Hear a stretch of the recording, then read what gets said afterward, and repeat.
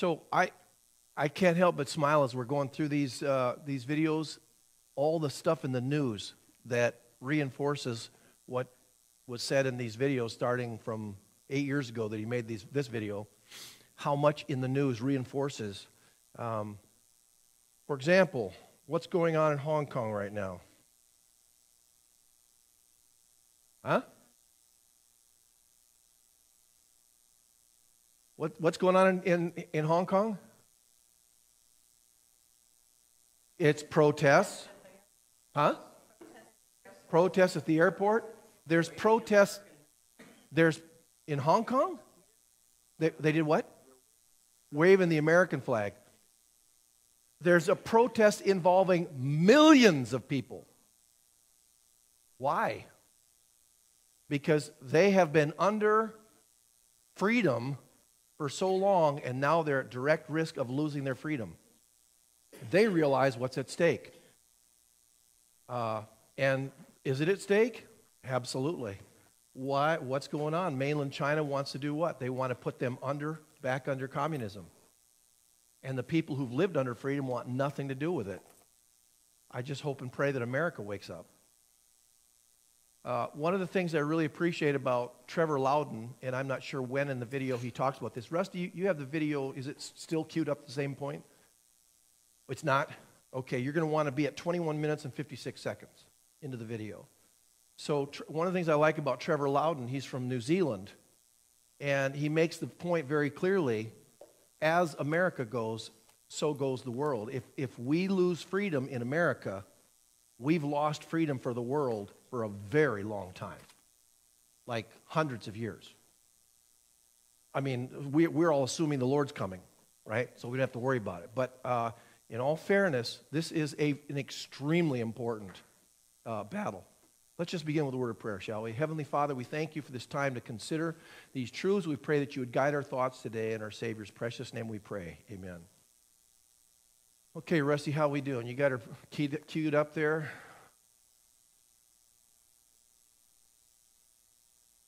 All right. I think we're, we're good to go. Make sure you ha- make sure you have a copy of the deal you can fill in, and if we run out one, we'll start another. Give you another one.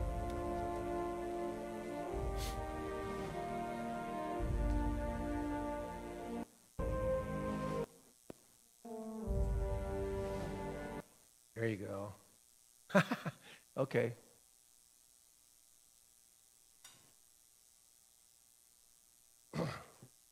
21 minutes and 20th century was. See, that what tried to convince the world. They called it uh, socialism. A lot. Karl Marx, the father of modern day communism, died. The assumption that communism would die with him was a logical one, since only nine people attended his funeral. Is it loud enough? In October of that same year in London, England, a, a group was forming called the Fabian Socialist Society. The Fabian socialists decided that they were going to socialize the world uh, incrementally.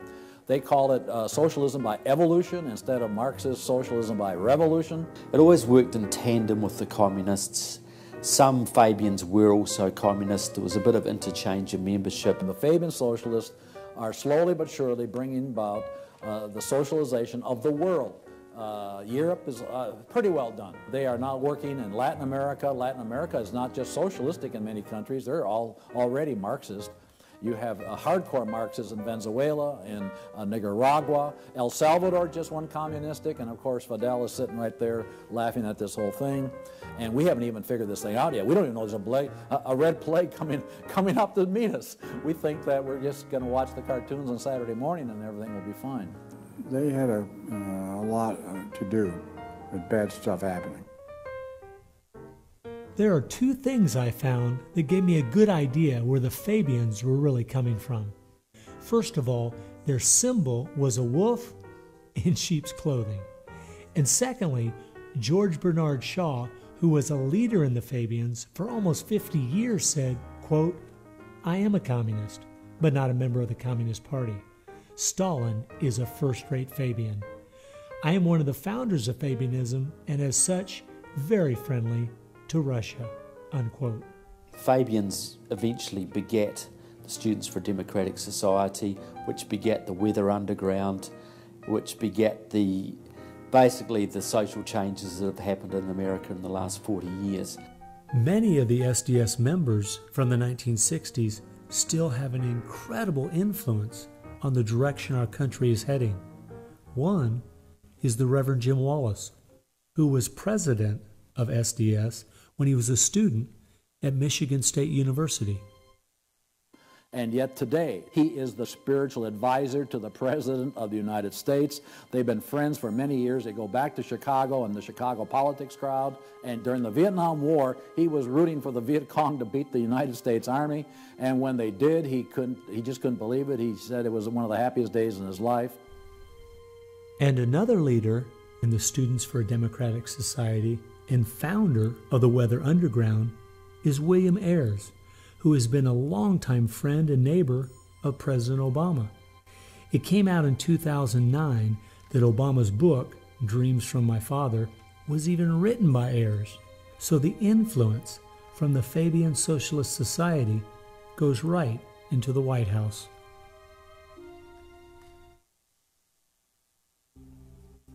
The next group I found that has seriously impacted America's culture is the Frankfurt School. The Frankfurt School was a sort of a, an outpost in America of European socialism. Willie Munzenberg, with, with a few other uh, Bolsheviks, founded the Frankfurt School. The two leading members are Herbert Marcuse and Franz Neumann. Franz Neumann was, in fact, a Soviet agent. Their entire purpose was to uh, stand the entire educational system of the West, and the United States in particular, on its head. Bertrand Russell, who worked with the Frankfurt School, said, By using psychological techniques to teach the children, we will be able to produce, quote, an unshakable conviction that snow is black, unquote.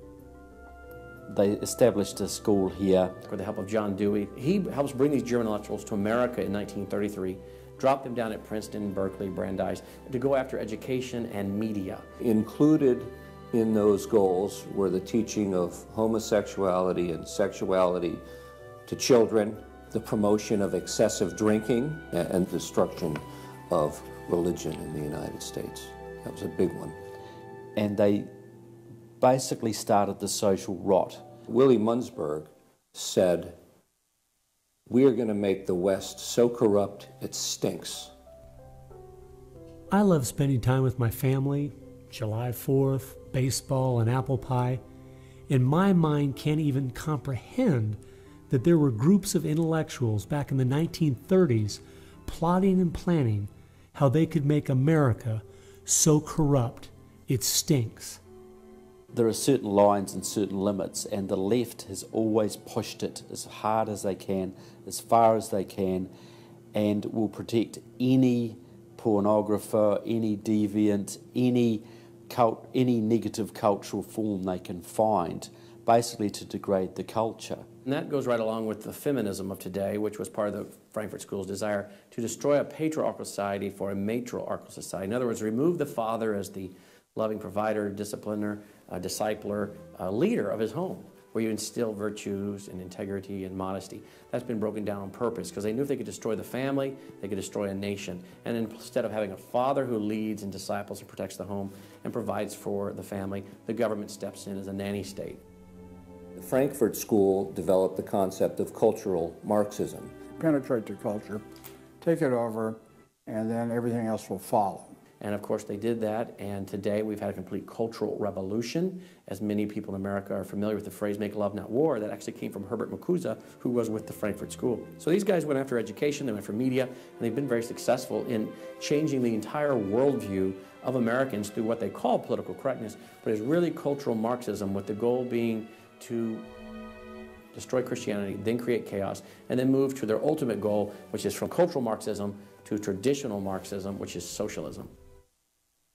Most of the strategy to remake America from within started with Antonio Gramsci, who wrote over 2,000 pages back in the 1930s outlining how to take a Judeo Christian culture down from the inside.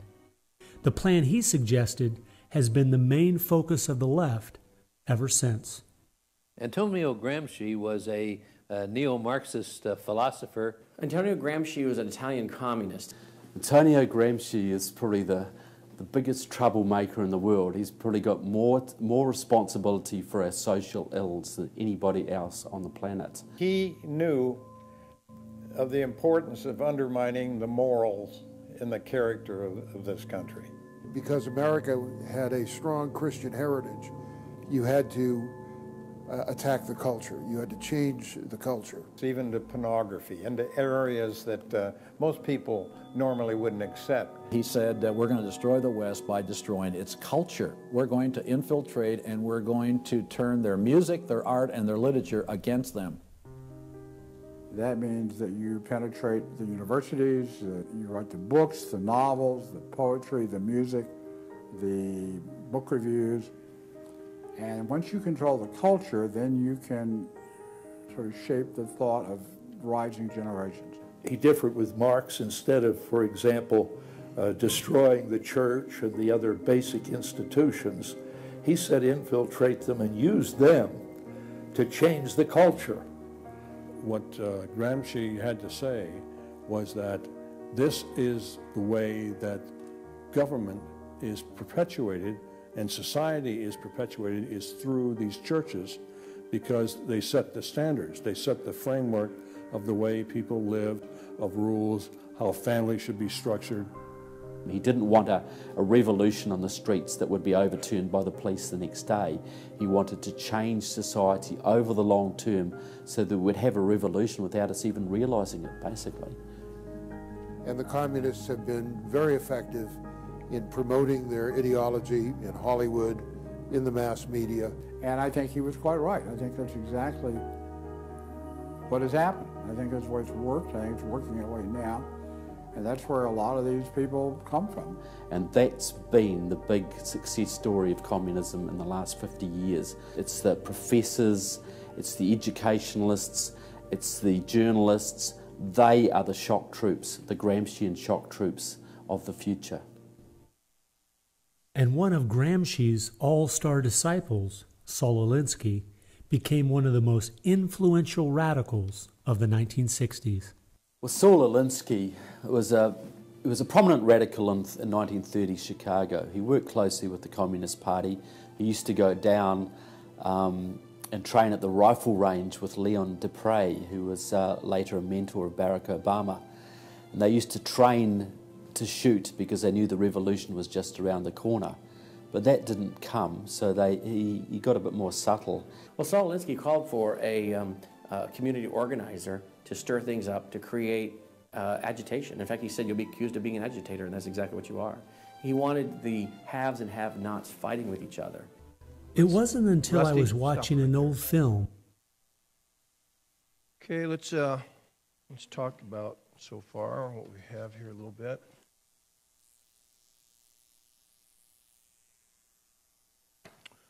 So, uh, first of all, uh, what struck you? What jumped off the page for you as we were looking at this? Yes, Helen? It's been going on a long time. Okay? Right. By the way, if you want a complete transcript of this whole thing, because I know it's not always easy to hear, sometimes they're talking fast and Trevor Loudon with his accent, I know it's a little hard to understand all of it. If you want a complete transcript, because I've taken the time to listen to the whole thing over and over and over and transcript it all, send me an email and say, please send me a transcript, and I will send it to you. Okay? Um, I didn't really ask them for permission to do that, but, but I just think it's really helpful. It helps me to be able to look at what's, what's here. Okay? What else strikes you? Who started all this? Is where, where he begins this section. Who started all this? He goes back to Karl Marx. How many people were present at his funeral? Nine. Pretty weird, isn't it? To think that a guy who had nine people, only nine people show up at his funeral, and yet it's a movement that's basically taking over the world right now uh, because of his ideology. And so we know that um, as it says here, in October of that same year in London, England, a group was forming called the what social society? Fabian. Fabian Socialist Society. Now, I think it's important, and that's the reason I gave to you uh, the part that you can fill in to follow and to have these names down because th- this is not just um, make believe. These are actual names and specific things that if you have doubts, you can go and research it online and find out the truthfulness of everything that's here. All right, Fabian Socialist Society saw, saw, thought they were going to socialize the world. How? How are they going to socialize the world? Incrementally. Yeah, from within, but incrementally. A little, a little bit at a time. Okay? Huh? Oh, yeah. Incrementally. Well, they're getting to the point now they don't even have to do it incrementally anymore. They're pa- almost past that phase. But, but that's what they've been doing for a lot of years. They call it socialism by evolution instead of Marxist socialism by revolution. Okay? George Bernard Shaw. Well, we've heard that name before, haven't we? He was a leader in the Fabians for almost 50 years. He said, I am a communist, but not a member of the Communist Party. How convenient. So they're playing a, a, a, shell game so that you don't really know what's going on. And then he said, Stalin is a first rate Fabian. I'm one of the founders of Fabianism, and as such, very friendly to Russia. All right? Fabians eventually begat Students for a Democratic Society. Are you kidding me? Students for a Democratic Society? Students for a Socialist Society. Once again, they lie. They, they're, they're, they're, they're deceitful about what they really stand for. And the Weather Underground came out of that. And so the socialist changes that we see taking place over the last 40 years. And then this Reverend Jim Wallis. How many of you have had heard of Reverend Jim Wallis before this? Okay, just a few. Michigan State University. Why is he a reverend at all? Uh, president of Students for Democratic Society when he was at Michigan State. And under President Obama, he became the spiritual advisor to the President of the United States. How do you have a spiritual advisor that's an atheist? Isn't that interesting? All right. Another leader in the Students for Democratic Society, the founder of the Weather Undergrounds, William Ayers. Oh, we've heard that name. Wasn't he arrested at one time? Didn't he go to prison at one time? And yet, here he is powerfully influencing the course of American politics in our day uh, longtime friend and neighbor of President Obama. Came out in 2009 that the book, Obama's book, Dreams from My Father, was actually written by William Ayers. Figure that one out. Hmm. Interesting. All right, so then he talks about the Frankfurt School, um, an outpost of American European socialism, and Willy Munzenberg, founder of the Frank, the, uh, the Frankfurt School. Okay, Herbert Marcuse and Frank Franz Norman, uh, Franz Norman turns out was actually a Soviet agent. So here are these people in influential places in American uh, education and politics and media, and they're, they're, they're communists, really communists at heart. Okay, so Bertrand Russell says by using psychological techniques to teach the children, we will be able to produce an unshakable conviction that snow is black. And when you think about what's happened in the public school system, and we're going to see more about that and uh, further on, that's basically what they're doing is they're just brainwashing uh, children. Okay? Then there's the name John Dewey. Boy, we all know about what's the Dewey Decimal System. Our books are categorized in the, you know, this guy had a fundamental influence on American education. And he brought these principles to America in 1933, dropped them down in Princeton, Berkeley, and Brandeis to go after education and media. So the goals were to teach what? Homosexuality? Sexuality to children? The promotion of excessive drinking and the destruction of religion in the United States. Well, those are really high and noble goals for an educator. And yet, that's exactly what's happened. I, I you know, just in recent years, I've heard several times about Oregon, Uni- University of Oregon in Eugene, that um, I've seen newspaper articles, not just recently, but in the last couple years, that the professors are having a hard time getting students to come to class sober. That they're, they're, they're so intoxicated, the students, they're just one big beer party, that, that most of the time he, the professors are up there teaching a class full of students that are either asleep or not there because of the alcoholism. And so you look at if that was his goal back in the 1930s, how's he done in, in achieving that goal? It's like 100% success. And that's exactly where we're at in, in the day in which we live. So we're seeing the, the, the consequences of cultural Marxism. So that's what they called it. Frankfurt School developed the concept of cultural Marxism. So instead of, instead of coming in with an army to invade and win, instead they've, they've worked to corrupt and change our whole culture, and they've succeeded. And so they want to teach homosexuality, sexuality, and destroy religious thinking. All right? So, then we see this Antonio Gramsci, wrote over 2,000 pages in, back in the 30s, outlining how to take a Judeo Christian culture down from the inside. And what he, just, what he laid out has been exactly what's happened in America ever since. He was a neo Marxist philosopher, Italian communist. Okay, and because America had a strong, what kind of heritage? Christian heritage, you had to attack the culture, you had to change the culture. So he differed from Marx in that he said, don't tear down the churches, but infiltrate them. Now let's think about that for a moment. In what way can we see the, the results of that philosophy in churches today?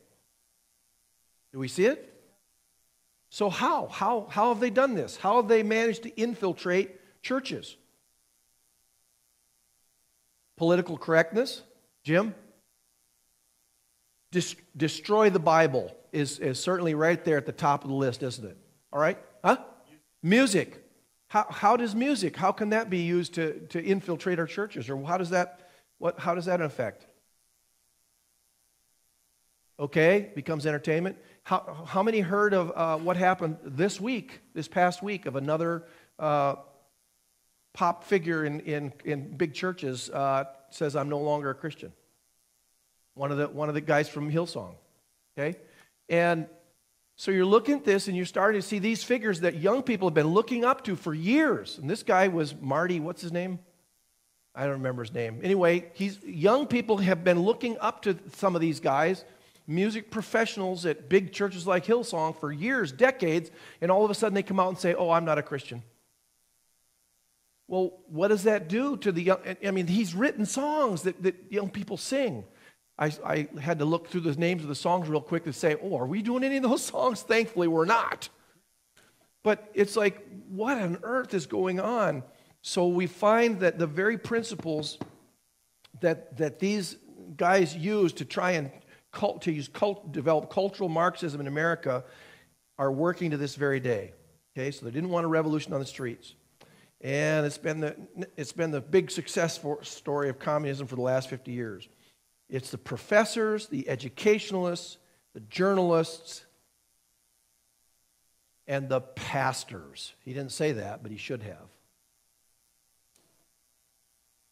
Yeah, it's the pastors. How is this possible that are actually being used by the communists to transform American culture?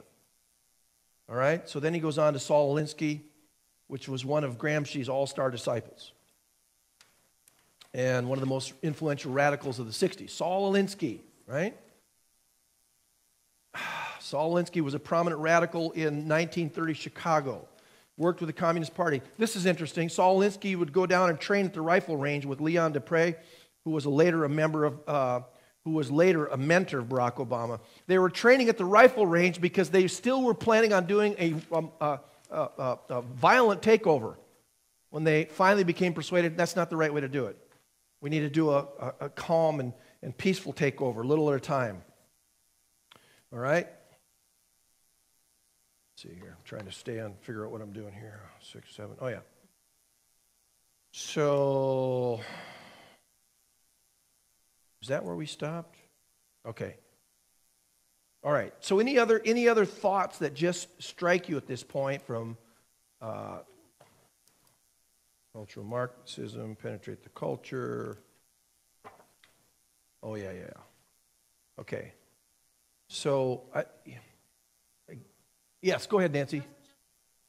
Yes. Barack Obama went to high school in Hawaii. Yes. And his, his two friends, they were a trio, not a musical trio, but uh, they um, were dousing themselves in all of this stuff. Yes. During high school, and I have a friend's picture. It was her uh, brother, I think, that knew about this, and she was telling me all about it a few years ago about him.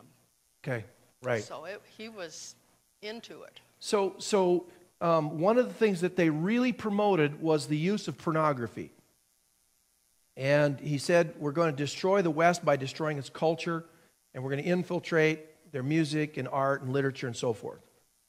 And, um, but here's what's interesting this, this little, there's so many fingers in this whole mess, but this, this issue of pornography. Um, okay, when, I was growing up, when I was in high school, we all knew about pornography because the whole uh, Playboy magazine thing had, had exploded, and, and um, before what had been considered uh, was, was actually illegal, right, in America, suddenly became, well, it's protected under the First Amendment. You, you have a right, you know, freedom of expression and so forth. And so uh, at that time, um, if a person really wanted pornography, they could get to it. But you had to work at it a little bit. You had to go to a store and buy dirty magazines or whatever. But now we're to the point where conservative estimates are 50% of pastors in Bible preaching churches are using pornography on a fairly regular basis. And the number is 70% of people in the pews. And we're to the point where it isn't just men using pornography, it's women. And I'm just sitting there scratching my head saying, What has happened to the church? So we can have a, a wonderful church, even a Bible preaching church that's, that has 500 people. But if the church is compromised with it from within by the use of pornography, we've lost all spiritual power. There's no way in the world that we can have the, the Holy Spirit filling and empowering us to do His work, while on the other hand, we're walking in the flesh. And so, um, I mean, I remember when I was in high school, I had several friends, and they had their own private stash of dirty magazines. And, and uh, Back then, it was sort of like that. Now, it's like you can't turn on your computer, you can't access even news and things. It's everywhere. So a person can't just be passive about defending themselves. Now they have to be active. There has to be an active resistance, an active crying out to God and saying, Lord, fill me with your spirit, because Galatians 5 says that's the only solution. And so we, we've got to get serious about realizing that just because things are still going along and, and, and it's not too bad and there's still a few churches here and there, but if we're compromised from the inside out, we're falling right into the trap that these people have laid. And, and it's not a, I, think that there's probably a lot of Christians who, and, and apparently even pastors, who say to themselves, well, it, it, it, this won't hurt anybody. this is just a, you know, this is just something I do when I'm alone and nobody's around. And that, that, that really won't hurt anyone. And that's a lie right from the pit of hell. And we need to recognize it and face it and deal with it.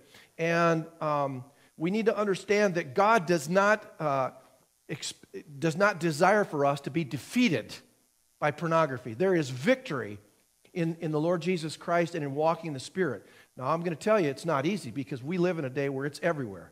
But it is possible to have victory over this sin of pornography. And if we don't, we're going to wake up one morning a communist nation. It, it, it's that serious. Okay, Rusty, I think we're ready to roll again here. From World War II, that I realized what the left has been doing in America to pit the poor against the rich, blacks against whites, and the young against the old is the same tactic Hitler used to disunify Germany. You see, they knew that they were not strong enough to conquer a unified country. So they split Germany into small groups. They used prejudice as a practical weapon to cripple the nation. Remember that when you hear this kind of talk. Somebody's going to get something out of it. And it isn't going to be you. Yeah. And they used the conflict as justification for more government to stop the chaos. So they create the chaos and then they step in as a solution to the chaos. And as Francis Schaeffer said, once this chaos comes, most people will willingly give over to a authoritarianism because they don't want the chaos. His book was kind of the field manual, if you will, for these activist organizations. Which President Obama studied and taught at a workshop for four years in Chicago as a community organizer for ACORN. As I was reading through Rules for Radicals to see where he was coming from, I just happened to take a look at the dedication in the front of the book. And this is what I saw quote, lest we forget at least an over the shoulder acknowledgement to the very first radical, the first radical known to man who rebelled against the establishment and did it so effectively that he at least won his own kingdom Lucifer. Unquote. Saul Alinsky from Antonio Gramsci has had an incredible amount of influence on our president and on our society. And he dedicates his book openly to Lucifer, Satan. I think that says more about where their ideas and plans are based than anything else. You asked what Saul Alinsky's impact is on the leftist movement today, and it basically defines it. It defines it. Saul Alinsky took the best of Gramsci and the best of the Fabian socialist ideas, combined, repackaged, and sold them to the 60s radicals. After studying Alinsky, Richard Cloward and his wife, Frances Fox Piven, came up with what is today known as the Cloward Piven strategy. Now, their idea was basically that to destroy society or destroy capitalism per se, they needed to overload the system. It was the idea was to get everybody you possibly could on welfare, to get everybody you possibly could basically milking the system in some way or another. It was called the crisis strategy, and it became very well known by activists and radicals in the 60s. They published an article in the May 1966 issue of Nation magazine called The Weight of the Poor, in which they outlined their strategy. Rathke read that article, and Rathke ended up starting what we now know today as ACORN. And of course, Cloward and Piven had been studying Saul Alinsky. So Antonio Gramsci gives us Saul Alinsky. Saul Alinsky gives us the Cloward Piven strategy, this husband and wife that said, hey, let's collapse the American economy by implementing so many entitlements, so much of a welfare state at collapse. He, Rathke, studied the Cloward Piven strategy. He starts ACORN. And of course, ACORN gave us Obama. And to show what a small world it is, Wade Rathke, who started ACORN, was the draft resistance organizer for SDS, the group the Fabians started. They've used that strategy ever since to expand voting rolls, to expand um, welfare rolls wherever they can, basically just to overload the system, to increase the tax burden on the middle class, and basically bring capitalism one step closer to destruction. I guess we shouldn't be surprised that we still have open borders, that so many people are dependent on the government, and that the left keeps pushing these programs when all they've done is tear apart the black families in America and create generational cycles of poverty. The last group that has worked alongside the Fabians and the Frankfurt School using Gramsci's approach is the Communist Party USA. Probably the most important book on this subject is called Towards Soviet America by William Z. Foster. William Z. Foster was the head of the Communist Party himself. Uh, he ran for the President of the United States in 1932, but in the book, Towards Soviet America, he literally lays out chapter by chapter by chapter what is entailed to bring about a USSA, not just a USSR. Two of the movements they started in America have played a significant role in tearing apart our families, in breaking down our morality. Uh, Betty Friedan is credited with really starting the feminist movement in this country. The purpose really was to attack full-time homemakers, to get them out of the home, to make them think they live dreary lives, to make women feel they are victims. It's the science of victimology. And um, that is so unfortunate because the American woman is the most fortunate class of people who ever lived on the face of the earth and to try to tell them that they, they are victims of an oppressive, unjust uh, uh, patriarchy is, is just a, a, grievous lie. But unfortunately, they are teaching young women that and have been doing it for many years. While Betty Friedan was pushing her book, Feminine Mystique, she implied that she was coming from the point of being a frustrated housewife herself and just wanted to be a help to other women. But later in the 1990s, it came out she was in fact a radical propagandist for the Communist Party and a staunch supporter of Stalin. So when she had described the American family as, quote, a comfortable concentration camp, unquote, it wasn't because of her experience at home, it was because she was just doing her part to dismantle our families. I'm a student of communism, and the communists set up gr- uh, various groups and various societies. Their society that they set up to promote homosexuality in this country was called the Mattachine Society. It was founded by Henry Hay, a leading member of the Communist Party. So since I was studying communism and teaching on the, on, on the issue of communism, you just follow leads, and all of a sudden you realize, what is this Mattachine? I've never heard of this Mattachine Society. Well, it was Henry Hayes' organization set up to infiltrate the culture of the United States to make homosexuality normal. It's always been a movement dominated by the left. It's um, all these so-called isms. You'll find there's a there's a communist or a socialist behind every one of them, and you, you'll, you'll, you'll always see their targets. It's, it's basically the traditional family unit. The war is still against the family. If you go back to the Communist Manifesto and read Karl Marx carefully, the war is against what they called the bourgeois family, which was really the biblical family father, mother, and child. They want to plow through marriage. They want to, they want to change the very definition and meaning of marriage because their open door to engineering society in this utopian way uh, is blocked by the very values of our Christian civilization that's taught through marriage. And so the left just has got to destroy the family because if there's any one thing that will prevent the left from carrying out its agenda, it's healthy and strong nuclear families. And so, from the Fabian Socialist Society to the Frankfurt School to Antonio Gramsci and the Communist Party USA, from these four, you will find connections to almost every left leaning person and organization in America. Their influence has been incredible.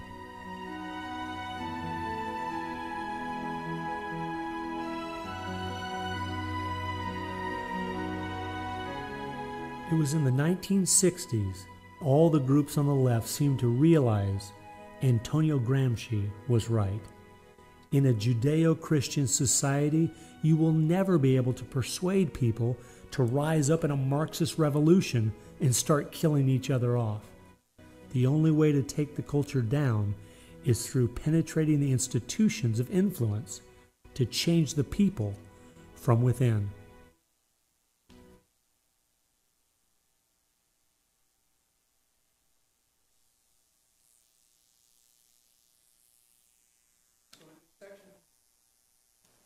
This section started out, he was watching a, a, a World War II film, and it helped him to connect the dots. And in the World War II film, he had the older man in Germany explaining to the younger man about something. Do you remember what he was talking about?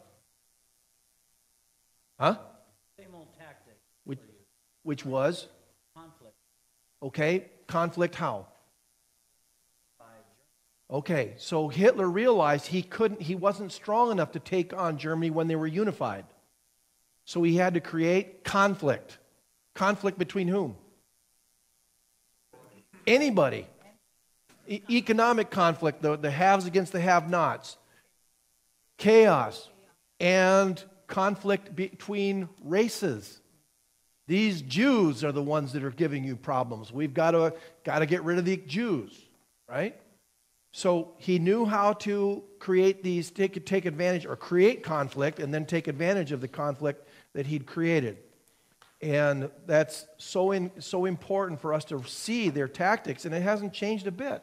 They're doing exactly the same thing today.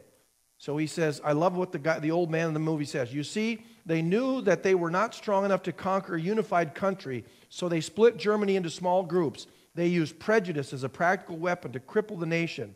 Remember this when you hear this kind of talk. Somebody is going to get something out of it, and it isn't going to be you.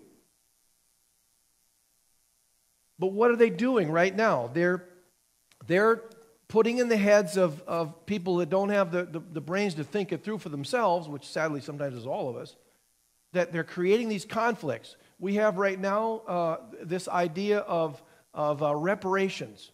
What is reparations all about? Pay back who? Well, well, you know, there were Irish Americans that were slaves too. So, so there, it, wasn't just, it wasn't just one racial group that was enslaved. Um, and, and let's face it, the Japanese during World War II who had become American citizens weren't exactly treated with a lot of class and character either, right? Uh, I know up in Salem, Oregon, as you just head just north out of Salem, there's a whole area of the most fertile ground for growing onions. That was all owned by the Japanese. But during World War II, they were thrown into, into camps and it was confiscated and they never got it back. We did all kinds of things uh, to, to different racial, racial groups. So they're going to take and, and try and create chaos amongst races, and they're doing it. They're succeeding. And, and that's the sad part is, is in so many cases we're allowing them to do so.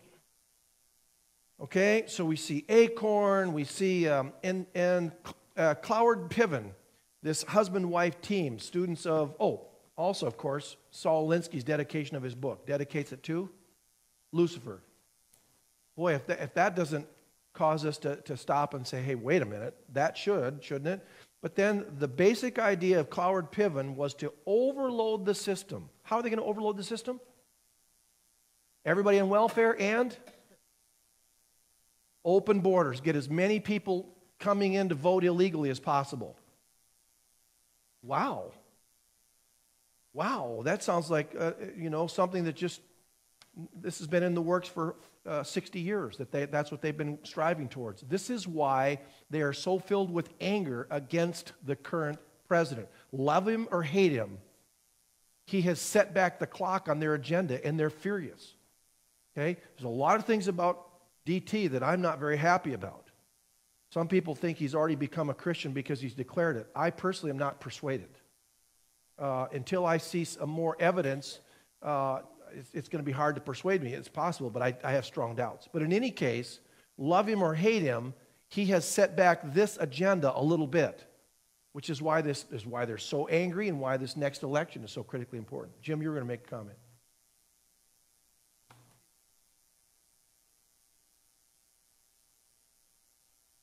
They get on the dole, they're supported. It's going to break the system. completely. Exactly. Exactly. It isn't just for the vote, it's to overload the system. If, if, if you know ahead of time that a thief is coming to your house at 9 o'clock on Saturday night, and, and, and you know exactly how he's going to come, he's going to he's going to come through the back window, what do you do? Just walk away and let him do it? That's what we're doing. That's exactly what we're doing. We're allowing the communist agenda, it's all spelled out. We can read it and see it, and we're just like, huh? May God help us to wake up while it's still possible to wake up and make a difference. All right? Um, so, Acorn, mm-hmm, voting rolls, okay. What else do you see here? Oh, so of course, then, uh, of course, then the two movements feminist movement and the homosexual movement, right? And, um, oh, I, I can't imagine that that's an issue today. How many of you know the name Candace Owens? Are you familiar with the name Candace Owens? You should write it down if you don't. Candace, C A N D A C E. Owens, O W E N S.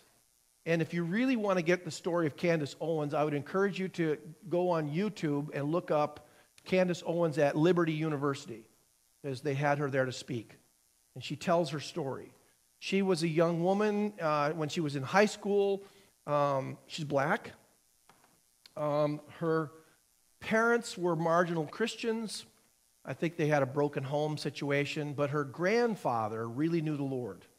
And her grandfather took in her, his granddaughters and tried to get them founded in Scripture, but still, she just she wasn't all that interested. Well, at some point when I think she was still in high school, um, a couple uh, boys, four boys were out on a joyride one night, and they decided to uh, let's let's let's send this Candace, you know, a, a, text, and, and and so all of them conspired, and they, it was just mean. That's all it was, and racially charged.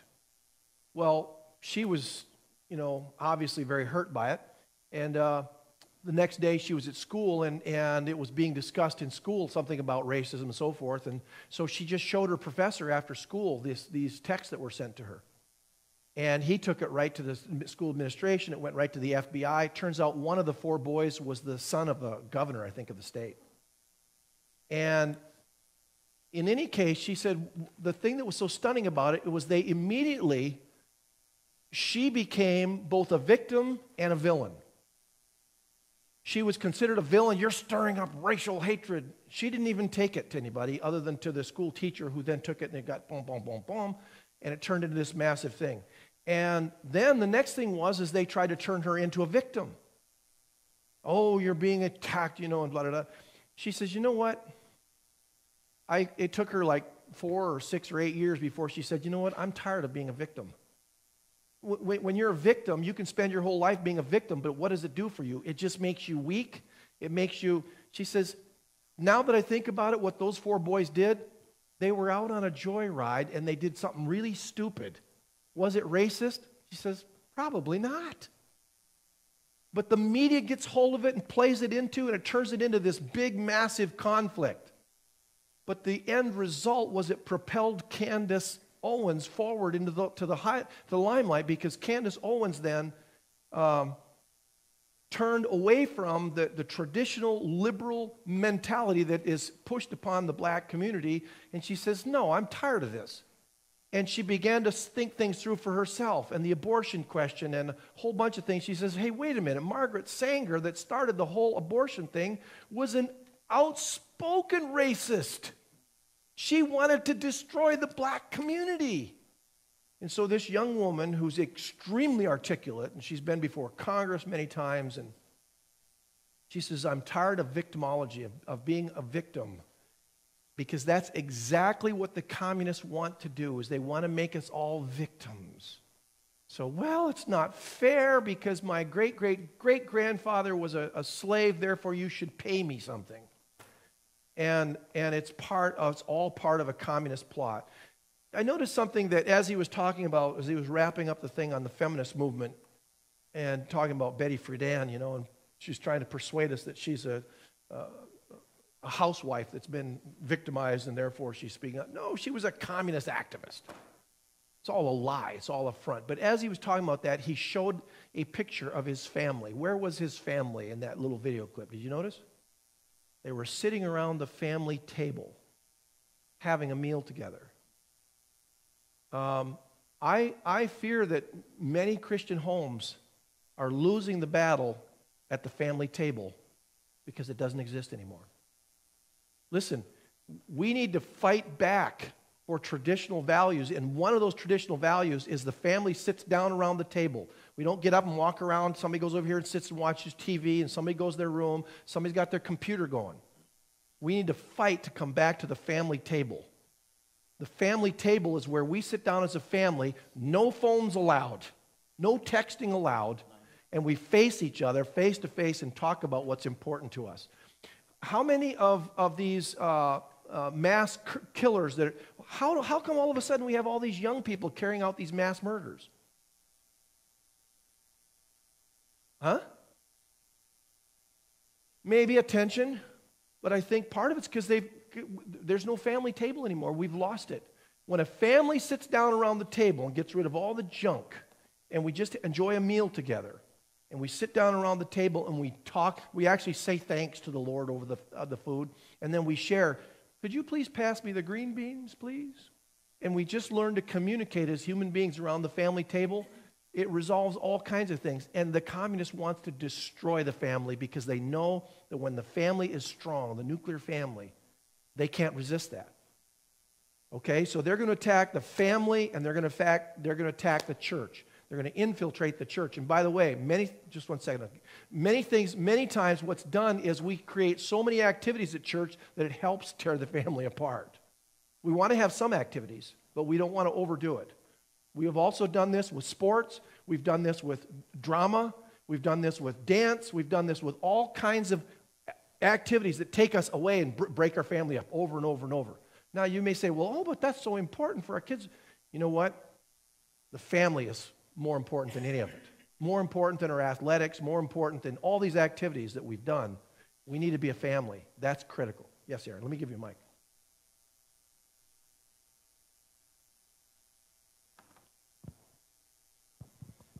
You said infiltrate the church on this topic of the feminist movement.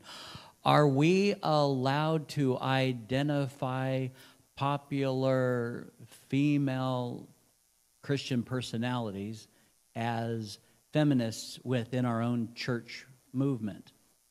Well, this is an interesting question, and I think we need to, to, to really think about um, that question because I know there's a lot of discussion about, um, well, are we allowed to, to listen to Priscilla Shirer or Beth Moore, for example? There's a, two often singled out top, uh, targets. If I personally am completely supportive of women who are uh, uh, addressing women's groups. Their main issue is to address women groups and to encourage them to grow in their faith. Now, if, if they're heretical, if they're t- clearly teaching women to turn away from Jesus Christ, that's no, that's no good. But many times, what we do is we take, um, we take what Scripture says about how women should act in the local church. Scripture says that they're not to be in a place of authority. And then we take and extrapolate it and say, therefore, they can never teach in any situation. No, I frankly think it's a real good thing to have godly women teaching women in our church. No problem with that at all. In fact, I think it's important. So it, it's a great question because at the same time, when I was in seminary, uh, one of our professors to teach us the importance of egalitarianism and so forth brought in a pastor's wife from one of the churches up in the Portland area who goes to churches and preaches Sunday morning sermons.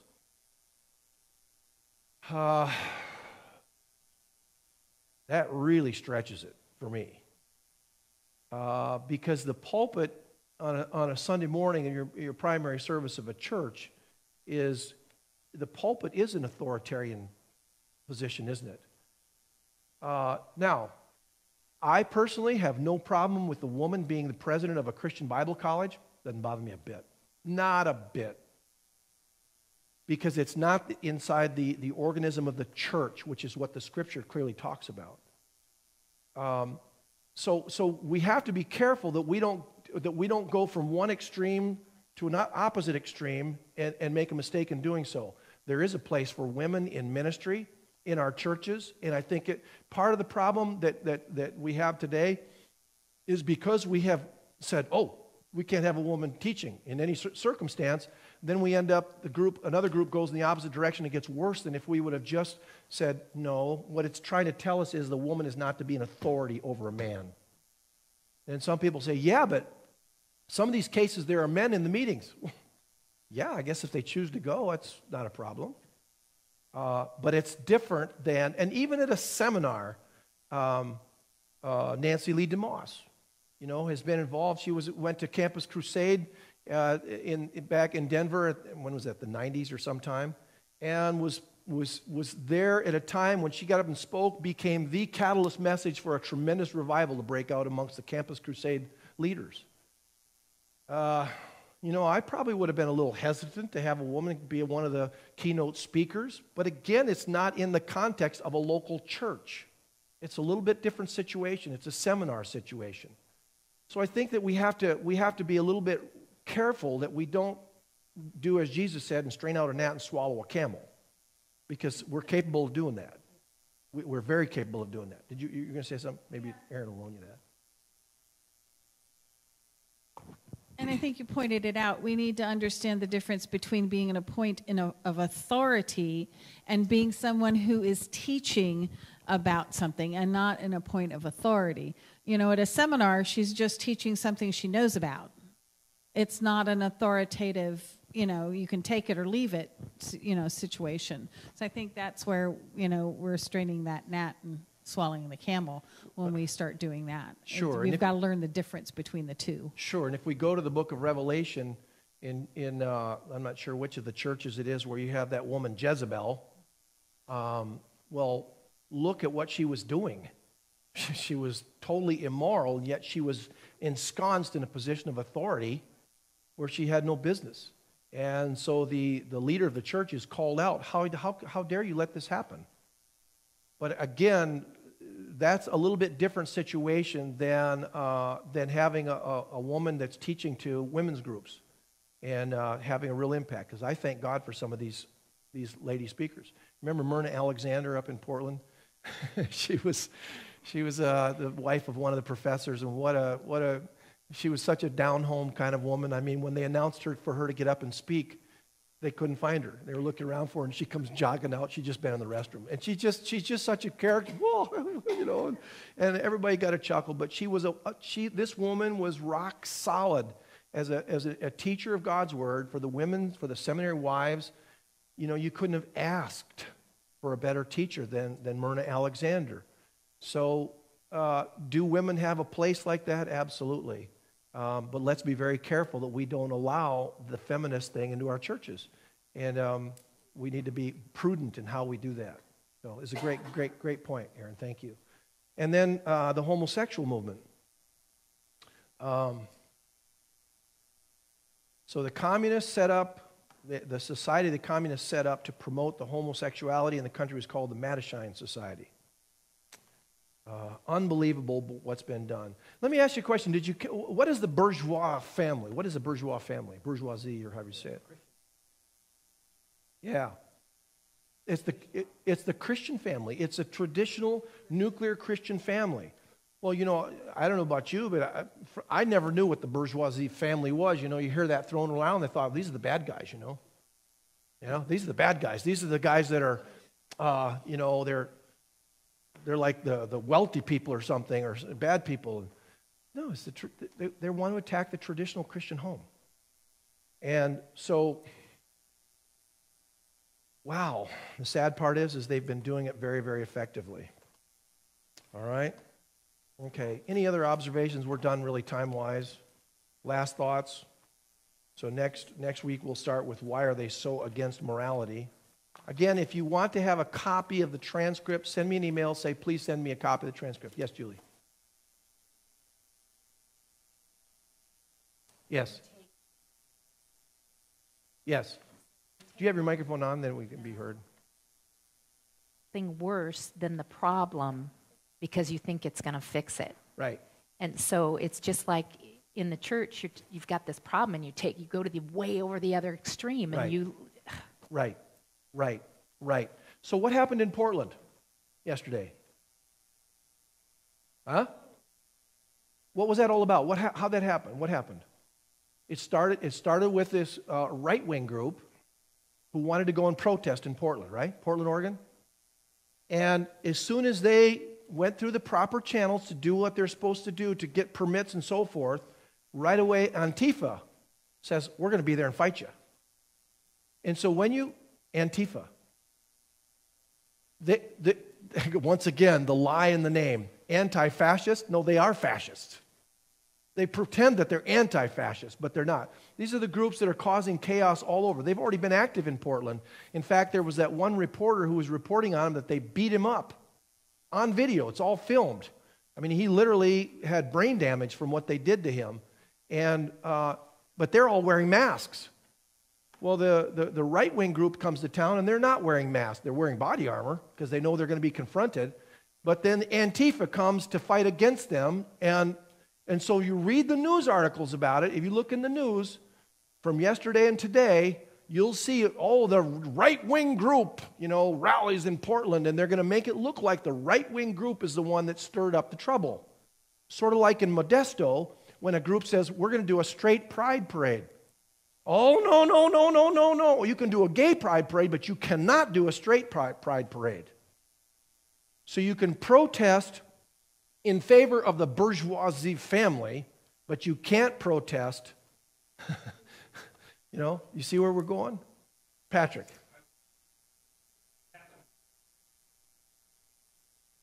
Okay.